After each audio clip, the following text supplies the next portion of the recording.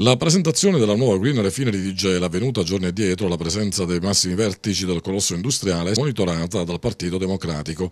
Ci sono alcuni punti, sottolineano i rappresentanti locali del PD, che bisogna analizzare a fondo. Il segretario cittadino Peppe Di Cristina. Il Partito Democratico su questo ha avuto sempre una posizione certa, almeno da febbraio, da quando sono stato eletto io, cioè l'industria Gela deve rimanere. Un'industria diversa, ecocompatibile, ma deve rimanere nel rispetto delle maestranze e dei lavoratori che hanno dimostrato una qualità professionale di altissimo livello, ma va portata avanti senza demagogia e populismo. Il tema che pone il Partito Democratico è la questione non può essere localistica, va investita in Italia, è una questione regionale e nazionale e per questo io, senza fare un comunicato stampa ogni tre minuti, sono permanentemente in contatto col segretario regionale del mio partito, che è l'onorevole Ragiti, proprio perché la questione va tenuta sempre a livello regionale e nazionale. Dunque fari bisogna sempre accenderli su Gela. Certo, non solo devono essere sempre assolutamente accesi, ma la questione non può diventare localistica o provincialistica, perché lì noi rischiamo di perdere tutto quello che abbiamo conquistato in queste settimane. Per il capogruppo consigliare del PD Enzo Cirignotta, gli interventi annunciati dall'ENI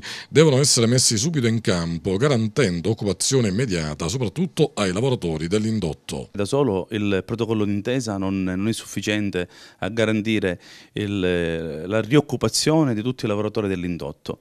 Infatti ho sentito parlare del, di investimenti aggiuntivi, ma quando si parla di investimenti aggiuntivi eh, di fatto si sta cercando eh, di riaprire il protocollo d'intesa eh, perché solo, eh, solo, attraverso investimenti, eh, nuovi investimenti, nuove, nuove attività imprenditoriali eh, nelle quali l'ENI secondo me deve essere il fulcro di, nuovo, di questi nuovi investimenti e l'ENI deve cercare di portare eh, nuove attività collaterali al, alla Green Refinery e comunque a tutte le nuove attività eh, ambientali che si che andranno a sviluppare da qui a qualche anno. Solo così dobbiamo, prendiamo consapevolezza si, che si può garantire l'occupazione l'occupazione e comunque risollevare le sorti dell'indotto eh, per dare una nuova speranza di sviluppo alla nostra città. Ecco, una nuova speranza di sviluppo, ma tempi certi per coloro i quali lavoravano nell'indotto e ora purtroppo ne stanno piangendo le conseguenze? Eh, L'unica preoccupazione della politica deve essere questa, di cercare di eh, accompagnare questi lavoratori al, eh, all'apertura dei nuovi cantieri.